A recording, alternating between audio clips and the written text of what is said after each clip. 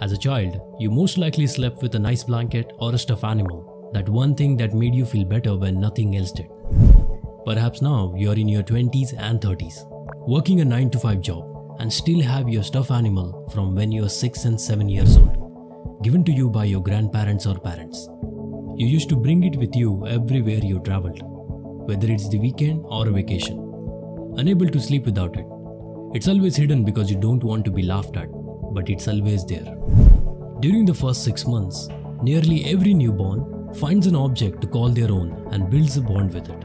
A child who has been emotionally abused always carries a stuffed animal with them because stuffed animals takes on unique personalities in child's imagination and after forming a connection children learn to rely on it to help them to cope up with their anxieties which benefits in sleep it's no surprise that the same object re-enters our lives when we reach adulthood and leave home for the first time supporting us in working through feelings of insecurities also generating a sense of stability and minimizing the negative sensations like loneliness and anxiety.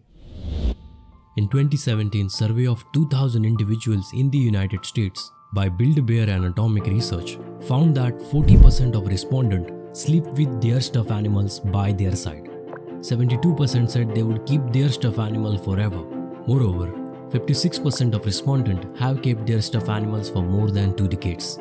It's enough evidence to support the notion that holding onto your stuffed animal isn't so strange, even though some people may assume that an adult holding to a toy animal is a sign of immaturity.